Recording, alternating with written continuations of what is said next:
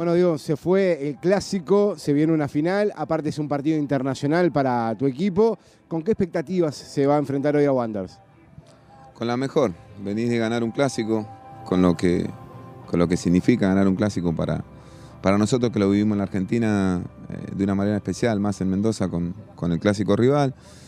Eh, y siempre jugar una final es, es lindo. Nosotros sabemos que, que la tenemos que afrontar eh, de la mejor manera, que el clásico pasó y bueno, trataremos de hacer lo mejor posible para, para poder ganarla. En el primer partido el funcionamiento del equipo en el primer tiempo fue bueno, en el segundo cayó.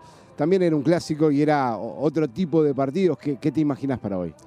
Sí, eh, vos lo dijiste, ¿no? Los clásicos llevan a, temores de perder y, y, a veces no se ve el funcionamiento que uno viene trabajando, pero, pero bueno, hoy están un poco más relajados, eh, trataremos de hacer lo que venimos trabajando.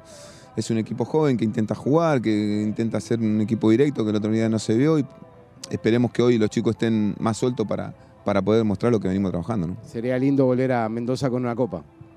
Sería lindo, ¿no? Eh, siempre cuando ganas una final y, si es afuera para el club es, eh, es algo prestigioso, para uno ir ganando confianza para lo que viene y, y nada. Yo siempre se lo digo, si llegaste a la final la tenés que ganar.